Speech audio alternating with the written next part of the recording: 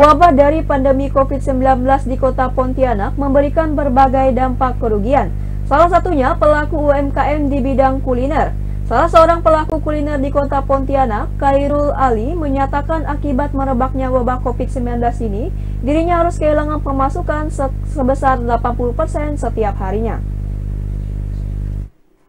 Sudah hampir sebulan lamanya sejak ditetapkan status kejadian luar biasa oleh Gubernur Kalimantan Barat, Kota Pontianak yang merupakan ibu kota provinsi juga harus merasakan dampak dari pandemi COVID-19 atau yang lebih dikenal dengan virus corona. Akibat dari menyebarnya wabah virus corona ini, sejumlah usaha mikro kecil menengah di antaranya sektor kuliner hampir tak berjalan sebagaimana mestinya. Satu di antara sekian banyak pelaku UMKM di kota Pontianak yang merasakan dari dampak serangan virus corona ini ialah warung Mitiau Melayu. Warung makan yang beralamat di Jalan Patimura, Kecamatan Pontianak Kota ini sudah mulai meliburkan diri selama 21 hari sejak dikeluarkannya surat edaran dari Wali Kota Pontianak tentang pembatasan jam operasional serta ditiadakannya layanan makan di tempat bagi tempat usaha dengan harapan dapat memutus mata rantai penyebaran virus corona. Menurut Khairul Ali, sejak dirinya membuka kembali usahanya beberapa hari lalu, penurunan pendapatan sebesar 80% pun sudah mulai dirasakan, di mana dalam keadaan normal dirinya mampu menghabiskan 25 kg mitiau.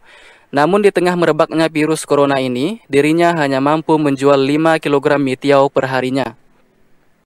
Kalau dirinya dari sektor bisnis, penurunan dari mitiau Melayu ini sudah mencapai 70% lah kalau kita anggap penurunannya.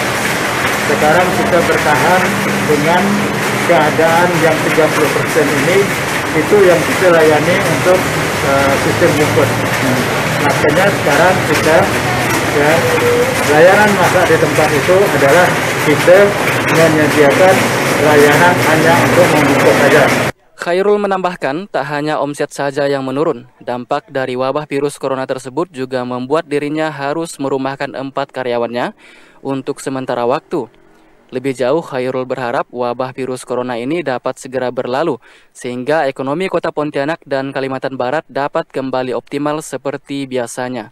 Endra Pontipi memberitakan.